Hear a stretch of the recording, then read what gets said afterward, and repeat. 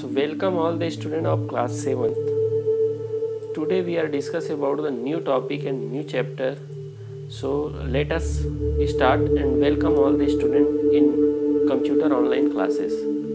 So today we are discuss about the new chapter that is chapter number 3 that is computer virus इससे पहले जो हमने chapter one complete किया था operating system उसके बाद एक चैप्टर हमने स्किप किया है लाइनेक्स क्योंकि इससे रिलेटेड प्रैक्टिकल हो नहीं पाता है तो हम उसको अभी स्किप किए हैं लास्ट में इसको देखेंगे। तो कंप्यूटर वायरस के बारे में हम लोग आज पढ़ेंगे। तो inside this chapter we will learn about the following topic first हम क्या क्या टॉपिक यहाँ पे पढ़ेंगे तो हम यहाँ पे स्टडी करेंगे वाट सॉफ्टवेयर इज़ कि कंप्यूटर में सॉफ्टवेयर क्या होता है, इसके बारे में जानेंगे। नेक्स्ट हम डिस्कस करेंगे कंप्यूटर वायरस के बारे में कि कंप्यूटर वायरस होता क्या है। नेक्स्ट हम डिस्कस करेंगे कंप्यूटर वॉर्म्स के बारे में कि कंप्यूटर वॉर्म्स होता क्या है। फिर हम डिस्कस करेंगे ट्रोजन हॉर्स के बारे में, ट्रोजन हॉर्स होता क्या है। फिर उसके बाद हम जानेंगे एंटीवायरस सॉफ्टवेयर के बारे में और लास्ट हम डिस्कस करेंगे protecting computer from the virus attack तो ये सारे टॉपिक को कवर करते हुए हम सिलेबस को आगे जाएँगे। तो हम इसको टू या थ्री पार्ट्स में आज कंप्लीट करेंगे। तो जितना हो सके आज हम ईमेल वायरस तक कंप्लीट करेंगे। ईमेल वायरस जितना भी समय लगेगा, ईमेल वायरस तक जाएँगे। अदरवाइज़ आपको एक दिन में पूरा अगर मैं ट्रोजन हॉर्स, वार्म सारा बता दूँ तो आपको ऐसा लगेगा कि सारा टॉपिक आपको मिक्स हो जाएगा। तो भले हम छोटा छोटा टॉपिक कवर करेंगे, लेकिन वो आपको क्या होना चाहिए? पूरा कॉन्सेप्ट आपको याद होना चाहिए। अदरवाइज़ आपको ऐसा लगेगा कि कंप्यूटर वॉर्म्स भी वायरस है, ट्रोजन हॉर्स भी क्या है वायरस है। कुछ सारे जो चाहे वायरस हो वॉर्म्स हो चाहे ट्रोजन हॉर्स हो, तीनों में कुछ ना कुछ डिफरेंस है। तो वो डिफरेंस आपको क्या करेंगे?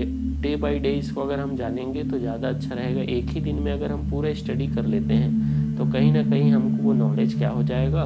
वो याद नहीं रहेगा। तो चलिए स्टार्ट करते हैं सबसे फ़र्स्ट इंट्रोडक्शन से। तो इंट्रोडक्शन जैसे कई बार आपको क्या हुआ होगा कि आपके अंदर जो है कुछ डिसीज एक्शन क्या किए होंगे? इंटर किए होंगे। ठीक है? तो आपके अंदर जब वो डिसीज इंटर करता है तो आपको कहीं ना कहीं क्या होता है? वीक फील होता है डिप्रेशन महसूस होता है। और बहुत सारे डिसीज ऐसे होते हैं जो क्या हो जाते हैं? ऑटोमेटिकली क्योर हो जाते हैं। लेकिन कुछ ऐसे डिसीज होते हैं जिसके लिए आपको क्या करना पड़ता है? डॉक्टर के पास जाना पड़ता है। और डॉक्टर जो है आपको प्रिकॉशंस के साथ साथ कुछ हेल्थ रिलेटेड आपको क्या बताते हैं? कुछ मेडिसिन भी दे सकते हैं। और मेडिसिन को लेने के बाद आप कुछ दिन बाद उसको अगर आप सही फॉलो करते हैं तो आप क्या हो जाते हैं? फिर से हेल्दी एंड फिट हो जाते हैं। तो कंप्यूटर भी वैसे ही है ह्यूमन के जैसे कंप्यूटर के अंदर भी अगर कोई वायरस इंटर करता है तो वो वायरस क्या करता है? कंप्यूटर के इंटरनल पार्ट्स को क्या करना चालू कर देता है? ख़राब करना चालू कर देता है। जैसे ह्यूमन के अंदर जो है कोई वायरस इंटर करता है तो करता है। तो ये जो है जस्ट लाइक like पहले हम जब स्टडी करते थे कंप्यूटर वायरस तो ऐसा लगता था कि जैसे ह्यूमन के अंदर जो वायरस जाता है सेम कंप्यूटर के अंदर वायरस जाता है। लेकिन ये क्या होता है कंप्यूटर वायरस एक प्रोग्राम होता है, जिसको किसी यूज़र के द्वारा डेवलप किया गया है, जो कंप्यूटर को क्या करे, नुकसान पहुँचाए। तो ये कंप्यूटर के लिए हार्मफुल होता है ह्यूमन में इसका कोई क्या नहीं होगा इन्फेक्शन नहीं होगा। और ना ही ह्यूमन का जो वायरस है, वो कंप्यूटर को इफ़ेक्ट कर सकता है। तो दोनों क्या है अलग अलग है, जो ह्यूमन का जो वायरस होता है, वो ह्यूमन को ही इफ़ेक्ट कर सकता है, जबकि कंप्यूटर का जो वायरस होगा, लेकिन ये जो है उसी कॉन्सेप्ट से बना गया, बनाया गया है, जैसे ह्यूमन वायरस जो है ह्यूमन को क्या करता है, नुकसान पहुंचाता है, वैसे ही कंप्यूटर वायरस क्या करता है कंप्यूटर को नुकसान पहुंचाता है। यहीं पे हमको एक चीज़ जानना पड़ेगा, और वो कॉन्सेप्ट क्या है, कि सबसे पहला चीज़ इसके अंदर हम यहाँ पे जानेंगे कि what is computer virus are हम कंप्यूटर वायरस क्या होता है इसके बारे में जानेंगे। साथ ही साथ what damage they can cost to a computer की कंप्यूटर के, के सिस्टम को कैसे क्रैश कर सकता है? और what are the possible step to take the prevention virus attack from the computer और हम यहाँ पे ये भी जानेंगे कि कंप्यूटर को वायरस के अटैक से हम कैसे प्रिवेंट कर सकते हैं। तो इसके बारे में हम जानेंगे। चलिए स्टार्ट करते हैं first topic that is computer virus तो कंप्यूटर वायरस एक क्या होता है? तो computer virus is a destructive software created to harm a computer and damage its content it is a parasite in form of a program that enter a computer enter interface with the working and destroy the file and the other program in the system. तो ये क्या होता है कि जो computer virus जो होते हैं, वो डिस्ट्रक्टिव सॉफ्टवेयर डिस्ट्रक्टिव मीन्स होता है हार्मफुल नुकसान पहुँचाने वाले। और क्रिएटेड ए हार्म जो हमारे कंप्यूटर को क्या करेगा? हार्म यानी नुकसान पहुंचाएगा और डैमेज भी कर सकता है। उसके अंदर जो कंटेंट है सपोज़ आपके सिस्टम में आपका फ़ोटो है वीडियो है तो उसको क्या करेगा? फ़ोटो को डिलीट तो नहीं करेगा, लेकिन उसको डैमेज कर देगा। अगर आप ओपन करोगे तो फ़ोटो दिखेगा नहीं। ठीक है? तो इससे क्या हो जाता है कि वो डैमेज कर सकता है। और साथ ही साथ it is a parasite in a form of a program that enter a computer. Parasite का मतलब आपने जाने होगा, साइंस में आपने पढ़ा होगा। पैरासाइट का मतलब कि जो क्या करे, दूसरे जो जो क्या हो, दूसरे जीव से क्या करता है, जो अपना एनर्जी लेता है, वो पैरासाइट कहलाता है। तो वैसे ही ये क्या करेगा, दूसरे जगह से आया और आपके सिस्टम का यूज़ कर रहा है। यानी हमारे सिस्टम को क्या कर रहा है, नुकसान पहुँचा रहा है। या हमारे सिस्टम में जो फ़ाइल है, उसको डिलीट कर रहा है। और साथ ही साथ working and destroy the file और वहाँ के सिस्टम के फ़ाइल को यूज़ करता है और उसको डिस्ट्रॉय भी करता है। तो ये जो है हमारे सिस्टम में इंटर करता है और अपना क्या कर लेता है अपना राइट्स ले लेता है। कि जैसे वो उसी का सिस्टम आपने क्या किया है उसको बनाया है या फिर आप उसको लाए हो। लेकिन वो क्या होता है अन, जो है हमारे लिए डिस्ट्रक्टिव सॉफ्टवेयर होता है जो हमारे सिस्टम में इंटर कर लेता है और हमको पता भी नहीं रहता। तो ये हमारे सिस्टम के फ़ाइल को क्या करता है? डिलीट करता है। और धीरे धीरे हमारे सिस्टम की फ़ाइल को करप्ट करते करते एक दिन ऐसा आ जाएगा कि हमारा सिस्टम ऑन ही नहीं होगा। क्योंकि हमारा सिस्टम जो ऑन होता है, वो प्रोग्राम से होता है और वो सारे प्रोग्राम को ये धीरे धीरे क्या करेगा? डिस्ट्रॉय करना चालू कर देगा। तो इस प्रकार से कंप्यूटर वायरस जो है ह्यूमन के साथ साथ जो अगर देखा जाए तो कंप्यूटर के लिए भी क्या है? नुकसानदायक है हार्मफुल है। लेकिन ये क्या है? अलग ये प्रोग्राम होते हैं। ठीक है तो ये ह्यूमन के द्वारा किए गए प्रोग्राम होते हैं।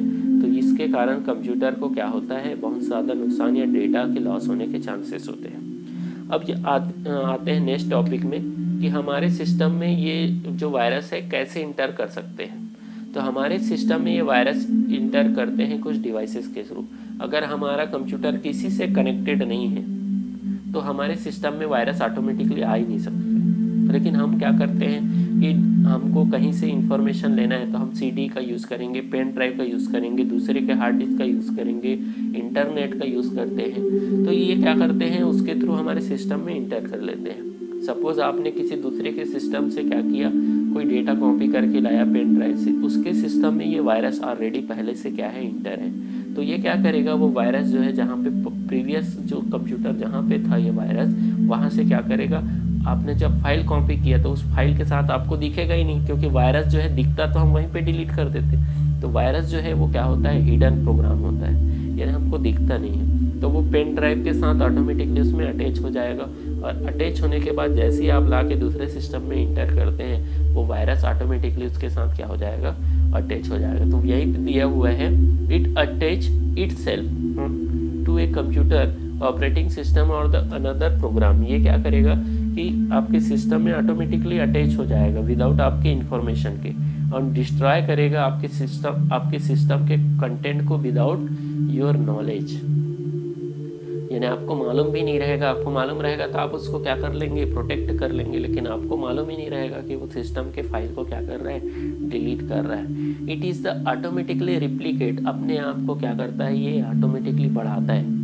आज वन है तो टू करेगा थ्री फोर फाइव इसीलिए तो जब हमारे सिस्टम में आपने तो पेन ड्राइव में एक वायरस लाया था, लेकिन वो धीरे धीरे क्या करता है, जैसे हमारे अंदर ही कोई वायरस इंटर करता है तो वो वायरस एक ही नहीं रहेगा। हमारे हमारे शरीर के अंदर बॉडी के अंदर ऑटोमेटिकली वो क्या करेगा, अपने आप को रिप्लीकेट करना चालू कर देता है प्रोड्यूस करना चालू कर देता है, अपना जो नंबर ऑफ़ वायरसेस है उसको इंक्रीज करना चालू कर देगा। जिससे क्या होगा धीरे धीरे वायरस की नंबर ऑफ़ वायरसेस जो है, हमारे, हम जो सिस्टम में इंक्रीज हो जाएगा। एक दिन ऐसा आएगा कि वायरस की संख्या ज़्यादा हो जाएगा नंबर ऑफ़ वायरसेस ज़्यादा हो जाएँगे और सिस्टम में जितने फ़ाइल हैं, वो सारे करप्ट होकर आपका सिस्टम ऑन भी नहीं होगा। तो ये किसके के थ्रू इंटर कर सकता है? पेन ड्राइव है सी डी डीवीडी है नेटवर्क है इंटरनेट के थ्रू क्या कर सकता है? हमारे सिस्टम में इंटर कर सकता है। तो इसीलिए जब भी आप किसी अननोन सोर्स से कोई फ़ाइल लेते हैं तो चेक कर ले कि उनके सिस्टम में वायरस तो नहीं है। तो इसको कौन पता लगाता है? एंटीवायरस के थ्रू आप उसको स्कैन कर सकते हैं।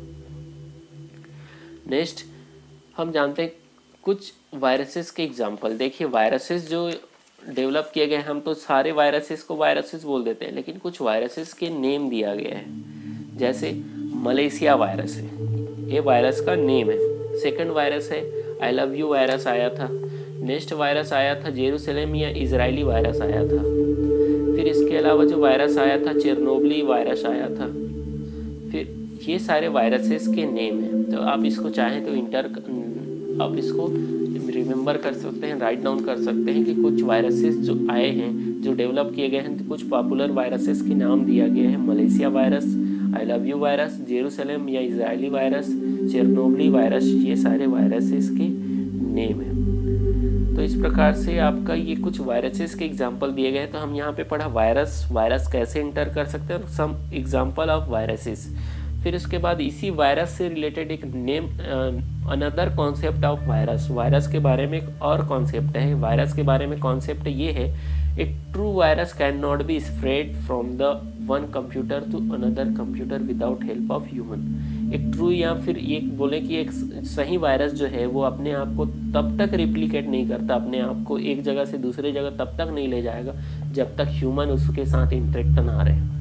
जैसे अगर हमने पेन ड्राइव को एक सिस्टम में कनेक्ट किया, वहाँ से फ़ाइल को कॉपी किया, हमको दिखता नहीं है, लेकिन वो क्या हो जाएगा, दूसरे सिस्टम में इंटर कर जाएगा। तो कहीं ना कहीं वायरस को स्प्रेड करने में, उसको क्या करने के लिए, फैलाने के लिए कि कौन जिम्मेदार है? तो वो ह्यूमन जिम्मेदार है। अगर ह्यूमन ऐसा एक्टिविटी ना करे तो कंप्यूटर वायरस भी हमारे सिस्टम में क्या ना होगा, इंटर ना होगा। It can to do so on when the when the software that is host content the viruses is taken to the another un, uninfected computer. और इसमें क्या होता है होस्ट कंप्यूटर जो है, जैसे आप होस्ट हैं, जो चलाने वाला रहता है, उसको होस्ट बोला जाता है। अब सपोज़ मेरे पास दो सिस्टम है, एक सिस्टम में एक वायरस इंटर किया है। मैंने क्या किया, उस सिस्टम जहाँ पे वायरस इंटर है, वहाँ से मेरे को एक फ़ाइल की ज़रूरत है, मैं वहाँ से पेन ड्राइव में कॉपी किया। वो वायरस भी उसके साथ क्या हो गया अटैच हो गया, और मैं दूसरे सिस्टम में जाके लगाता हूँ तो वो वायरस उस सिस्टम में भी क्या कर लेगा इंटर कर लेगा। तो वो कहीं ना कहीं ह्यूमन एक्टिविटीज़ के कारण ही वो क्या कर रहा है वायरस जो है अपने आप के नंबर ऑफ़ वायरसेस को इंक्रीज करते जा रहे हैं। फिर उसके बाद आते हैं, यहीं पे देखो ये वायरसेस किसके थ्रू इंटर कर रहे हैं? फ्लॉपी डिस्क है सीडी है पेन ड्राइव है। The viruses then attach itself file on the system replicates जैसे आपको मालूम होगा कि ये फ़ाइल जो है किसके थ्रू आपने सीडी लगाया डीवीडी लगाया, या फिर कोई पेन ड्राइव लगाते हैं तो ऑटोमेटिकली ये क्या करेगा? वहाँ पे अटैच हो जाएगा सिस्टम के साथ और सिस्टम में क्या कर देगा? अपने आप को इंटर करेगा और इंटर करने के साथ साथ अपना काम जो उसका काम है कि सिस्टम के फ़ाइल को क्या करना है? डैमेज करना है क्रैश करना है, ये काम उसका शुरू हो जाएगा तो आपको मालूम होना चाहिए कि कोई भी वायरसेस तब तक काम नहीं करता जब तक ह्यूमन उसके साथ क्या ना हो इंट्रैक्ट ना हो। हम आगे पढ़ेंगे कौन सा ऐसा कंप्यूटर थ्रेड्स है। थ्रेड्स मीन्स होता है कंप्यूटर का ऐसा कौन सा नुकसान पहुँचाने वाला सॉफ्टवेयर है, जैसे हमने ट्रोजन हॉर्स या वॉम्स या मालवेयर पढ़ेंगे तो उसमें हम जानेंगे कौन सा ऐसा है जो विदाउट ह्यूमन हेल्प के ही अपने आप को क्या कर लेता है, ये रिप्लीकेट करता है। अपने आप के नंबर ऑफ़ जो जो संख्या है, उसको क्या करेगा, उसको क्या करेगा रिप्लीकेट करेगा, बढ़ाते जाएगा। लेकिन कंप्यूटर वायरस आपको याद रहे विदाउट ह्यूमन के हेल्प के, वो अपने आप को रिप्लीकेट नहीं करता है। फिर आते next history byte history byte में आपको मालूम होना चाहिए कि एल क्लोनर ठीक है? Elk Cloner was the first computer public virus जिसको क्या बनाया गया था?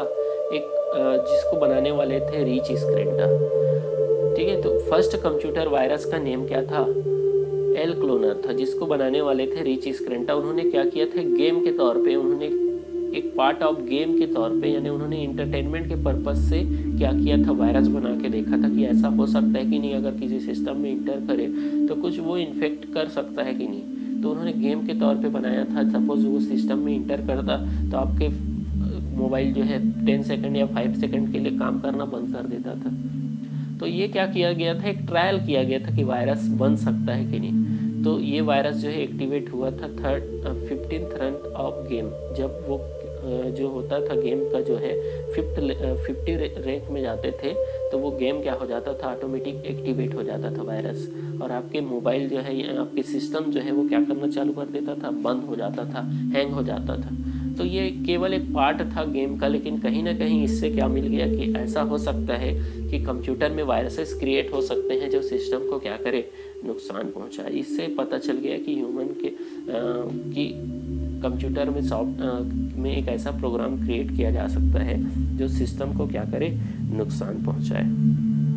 तो आपको मालूम होना चाहिए कि फ़र्स्ट कंप्यूटर वायरस जो पब्लिक कंप्यूटर वायरस का नाम क्या था? एल क्लोनर था, जिसको डेवलपर कौन थे? रिच स्क्रेंटा थे। दो टॉपिक आपको याद होना चाहिए।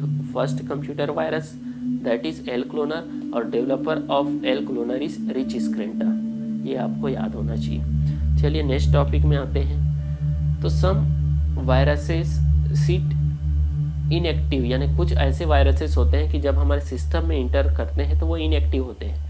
लेकिन कुछ ऐसा स्पेसिफिक डेट होता है जिसमें वो क्या होते हैं? अपने आप को क्या कर देते हैं? एक्टिवेट करते हैं। तो यानी आपके साल भर जो है, कुछ वायरसेस ऐसे होते हैं, पूरे साल भर इनएक्टिव रहेगा, लेकिन एक दिन आएगा जब वो अपने आप को इन्फेक्ट करेगा। तो ये डेवलपर ने क्या किया? एक ऐसा उसमें डेट और टाइम सेट कर दिया कि एक परफेक्ट डेट को ही वो वायरस क्या करेगा? आपके सिस्टम को डिस्ट्रॉय करेगा। चलिए देखते हैं कौन कौन से ऐसे वायरस हैं और कौन सा ऐसा डेट है, उसी डेट में वो क्या करेगा, अपने आप को जो है इन्फेक्ट करना चालू करेगा। चलिए तो some viruses infected victim computer and attack on the specific date और यही चीज़ दिया गया है कि कुछ वायरसेस ऐसे होते हैं जो स्पेसिफिक डेट और टाइम को, हमारे सिस्टम को। तो फ़र्स्ट वायरस है Jerusalem Jerusalem virus activated every Friday on thirteen to destroy date on the victim computer hard drive देखो येरूशलेम में दो कंडीशन होना चाहिए। एक तो डेट होना चाहिए थर्टीन और उस दिन होना चाहिए फ्राइडे सपोज़ किसी मंथ में, सर, फरवरी में जो है थर्टीन और उसी दिन फ्राइडे भी है तो दोनों कंडीशन मैच होना चाहिए। तभी ये क्या करेगा कि वो सिस्टम को वायरस एक्टिवेट हो जाएगा और सिस्टम को नुकसान डिस्ट्रॉय करना चालू कर देगा डाटा को डिस्ट्रॉय करना चालू कर देगा। तो दोनों कंडीशन किसी सपोज़ ये साल में दो या तीन बार ऐसा हो सकता है कि साल में किसी दिन फ्राइडे आए और उसी दिन थर्टीन हो। तो दोनों चीज़ क्या होना चाहिए? इसके साथ मैच होना चाहिए।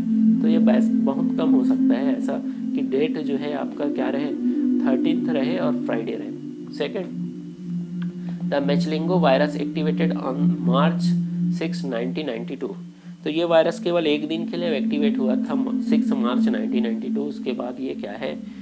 इनएक्टिव हो गया। एक दिन के लिए वायरस जो है क्या किया गया था? एक्टिवेट किया गया था। Next the Nyxem virus delivered it a payloaded on the third of every month wiping out file on the victim computer ये नेक्सेम वायरस जो क्या करता था कि हर मंथ के तीसरे दिन थर्ड ऑफ़ एवरी मंथ हर महीने के तीसरे दिन जो है एक्टिवेट हो जाता है। और एक्टिवेट होने के बाद सिस्टम के फ़ाइल को वेपिंग आउट करता है, यानी वहाँ से बाहर निकाल देता है। यानी आपके सिस्टम का फ़ाइल को परमानेंटली क्या कर देगा? वहाँ से किसी जो जो वायरस क्रिएटर रहेगा, उसके पास सेंड कर सकता है इंपॉर्टेंट फ़ाइल को। तो आपके सिस्टम से वो फ़ाइल परमानेंट क्या हो जाएगा? वेब वेब आउट हो जाएगा, यानी वो फ़ाइल आपके सिस्टम में नहीं रहेगा। तो इससे आपके सिस्टम में जो इम्पोर्टेंट फ़ाइल है, उसके डिलीट होने के चांसेस क्या हो जाते हैं? इंक्रीज हो जाते हैं। तो इस प्रकार से आपके सिस्टम में ये सारे वायरसेस क्या करेंगे? कहीं ना कहीं आपके सिस्टम को स्पेसिफिक डेट और टाइम में क्या करेगा, नुकसान पहुंचाएगा। तो ये आपको मालूम होना चाहिए, तीन वायरसेस जेरूसलेम जो फ्राइडे थर्टीन को एक्टिवेट होता है, फिर मेचलेंगो वायरस आया सिक्स मार्च 1992 को एक्टिवेट हुआ एक दिन के लिए, फिर नेक्सेम वायरस आया, जो एवरी मंथ के थर्ड जो तीन तारीख को जो होता है थर्ड ऑफ़ एवरी मंथ वहाँ पे क्या हो जाएगा एक्टिवेट हो जाएगा और वेपिंग आउट कर देगा फ़ाइल को, जिससे विक्टिम कंप्यूटर यानी जो इन्फेक्टेड कंप्यूटर है उसके फ़ाइल के क्या हो जाएँगे? परमानेंट जो है लॉस होने के चांसेस बढ़ जाएँगे। तो ये सारी चीज़ आपने क्या किया? यहाँ पे जाना। फिर उसके बाद आते हैं नेक्स्ट हम जानेंगे रॉग वायरस रॉग वायरस जैसे कि आप, ये न्यू कॉन्सेप्ट है रॉग वायरस क्या होते हैं? सम वायरसेस इमिट अब ये रॉग वायरस क्या होता है? Some virus imitate anti virus program कुछ वायरस ऐसे होते हैं कि हमारे सिस्टम के लिए ऐसा लगेगा कि वो एंटी वायरस है। In the other word, that act a cure from the virus where they themselves are a problem.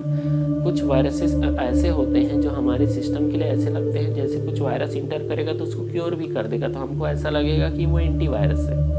लेकिन एक्चुअल में वो क्या होते हैं? प्रॉब्लम होते हैं हमारे सिस्टम के लिए। वो खुद एक वायरस होते हैं। Such virus is called rogue virus ऐसे वायरसेस को क्या बोलते हैं? रॉक वायरस कहलाते हैं। एक जैसे infected case by a rogue virus slow down our computer इस, इससे क्या पता, कैसे पता चलेगा कि हमारे सिस्टम में रॉग वायरसेस आ गए हैं? तो रॉग वायरस क्या करेगा? हमारे सिस्टम को क्या कर देगा? स्लो डाउन कर देगा। बहुत ही हमारा अगर सिस्टम को ऑन करेंगे तो सपोज़ वो 45 सेकंड या 50 सेकंड में ऑन होता है। वो दो मिनट तीन मिनट ऐसे इंक्रीज होते जाएगा, जैसे जैसे रॉग वायरस की नंबर ऑफ़ रॉग वायरस क्या होते जाएँगे? बढ़ते जाएँगे। तो हमारे सिस्टम क्या हो जाएगा? उसका वर्किंग परफॉर्मेंस जो है वो लो हो जाएगा।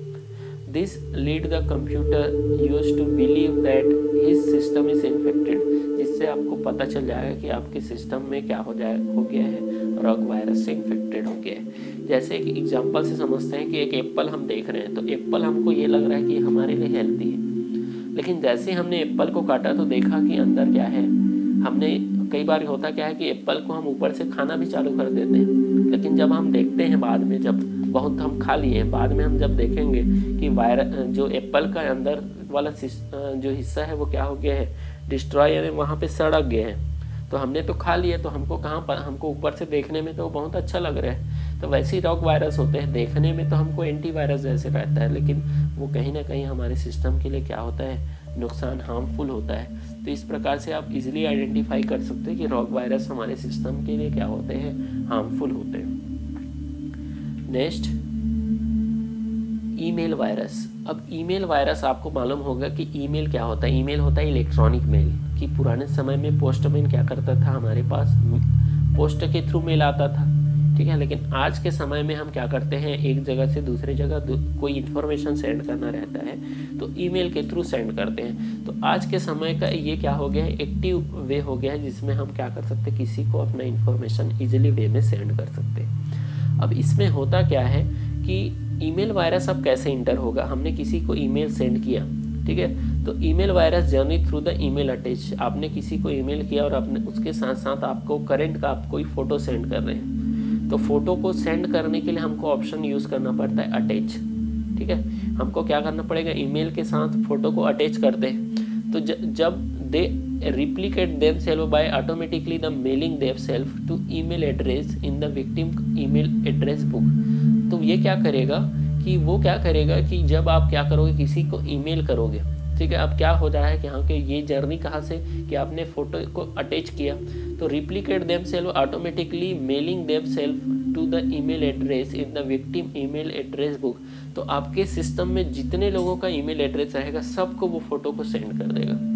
तो ईमेल जो वायरस क्या करता है कि आप एक को सेंड करना सपोज़ आपके मोबाइल में व्हाट्सअप होगा, आप व्हाट्सअप में किसी एक को फ़ोटो सेंड कर रहे हैं। तो अगर वही अगर मैं ईमेल की बात करूँ तो ईमेल वायरस जब आप सपोज़ आप व्हाट्सअप यूज़ कर रहे हैं, अगर वो व्हाट्सअप में अगर ईमेल वायरस इंटर करता है तो कैसे काम करेगा कि आप किसी एक को कोई फ़ोटो सेंड कर रहे हैं। वो सारे आपके पास मोबाइल में जितने लोगों का नंबर होगा, सबको वो फ़ोटो चला जाएगा। तो इससे क्या हो रहा है कि आपके सिस्टम में जितने भी आपके पास जितने लोगों का ईमेल एड्रेस है, वो सब के पास क्या कर रहा है? ये वायरस सेंड हो पा रहा है। तो कहीं ना कहीं ये वायरस आपके सिस्टम में क्या हो गया?